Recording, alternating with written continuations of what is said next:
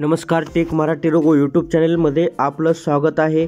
पीक विम्यासंदर्भातील ही update आहे. यंदा पावसाने झालेले नुकसान आणि त्यानंतर पीक विमा कंपन्यांचा मनमानी कारभार यामुळे संबंध राज्यातील शेतकरी त्रस्त आहेत.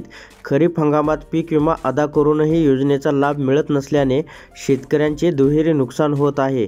शेतकऱ्यांना वेळेत भरपाई तर सोडाच पण भविष्यात हक्काचे पैसे मिळतात का नाही अशी स्थिती निर्माण झालेली आहे. आर्थिक संकटात सापडलेल्या सलंगरी येथील शेतकऱ्यांनी आक्रमक भूमिका घेतात जिल्हा प्रशासन हे खडबडून जागे झाले आहे. पीक विम्याचे पैसे द्या अन्यथा जिल्हाधिकारी कार्यालयासमोर आत्महत्या हा केवळ इशारा नाही तर आक्रमक शेतकऱ्यांना विषारी द्रव हातामध्ये घेऊन कार्यालयात प्रवेश केला. शेतकऱ्यांना या अवस्थेत पाहून आता तीन दिवसामध्ये विमा रक्कम ही अदा केली जाणार असल्याचे जिल्हा प्रशासनाने सांगितलेले आहे.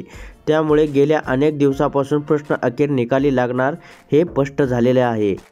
आता याच्यामध्ये काय शेतकऱ्यांच्या आंदोलनाकडे हे दुर्लक्ष झालेलं होतं. पीक विम्याची मागणी करीत आतापर्यंत आंदोलनं मोर्चे करूनही शेतकऱ्यांच्या मागणीकडे दुर्लक्ष होत असत. यापूर्वी शेतकऱ्यांनी जिल्हा कृषी अधीक्षक कार्यालयात ठिय्या आंदोलन केले होते. मात्र विमा परताव्याचे नेमके कारण काय याची माहिती शेतकऱ्यांना मिळत नव्हते. शिवाय विमा मंजूर होऊनही चार महिन्याचा कालावधी लोटला असताना यावर कोणतीही कारवाई होत नसल्याने सलंगरी येथील शेतकरी हे थेट हातामध्ये विषारी द्रवच्या बाटल्या घेऊन जिल्हाधिकारी कार्यालयात हजर झाले होते. विमा रक्कम भरूनही त्यांचा लाभ मिळत नसेल.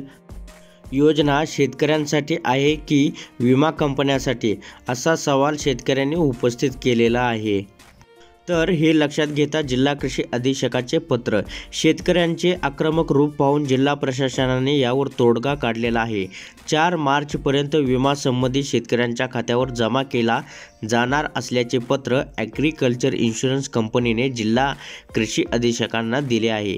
एवढेच नाही तर शेतकऱ्यांनी ऑनलाईन किंवा ऑफलाईन अशा कोणत्याही प्रकारे अर्ज केला तरी भरपाई ही मिळणारच आहे. पीक विमा योजनेत पैसेवारी याचा कसलाही संबंध नाही.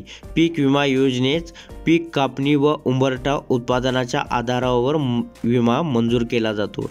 त्यामुळे आता विम्यासाठी शेतकऱ्यांना तीन दिवस वाट पाहावी लागणार आहे.